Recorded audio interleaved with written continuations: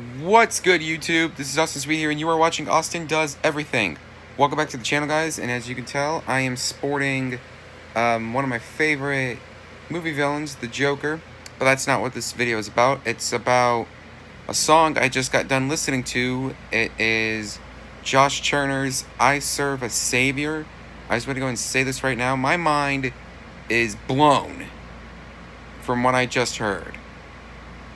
This song is talking about Josh Turner serving our Savior, our Lord above.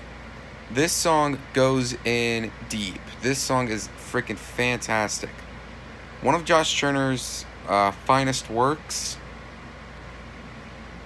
So I'm just on here real quick.